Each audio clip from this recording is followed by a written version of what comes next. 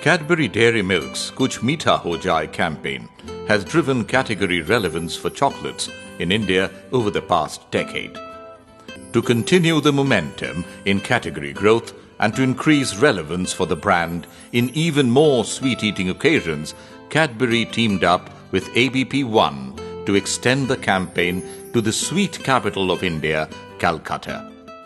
So last year, Mishti Crazy Bengalis were introduced to a whole new category of Mishtis, Cadbury Mishti. The consumer response was immense. Calcuttans cast over a million votes for their favorite Cadbury Mishti. And the category growth numbers just reflected how successfully Cadbury Dairy Milk had gained acceptance as another variety of Mishti. Come 2013, Cadbury Mishti was back. And as was befitting a love story so sweet, it was now time to celebrate the marriage of Cadbury and Mishti. Bengal woke up to an invitation on the pages of Anandabazar Patrika and the Telegraph to come and be a part of the biggest wedding celebration of the year. The multimedia campaign also included radio, outdoors, TV, and digital.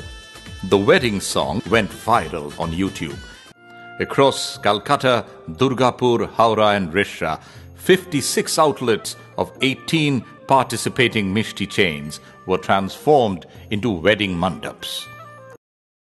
A giant 24 feet topor, the traditional Bengali groom's wedding headdress, was erected and has since been acknowledged by the Limca Book of Records as the world's largest topor. And the consumer response was just breathtaking. 2.3 million blessings were received. More than 150 varieties of sweets were created.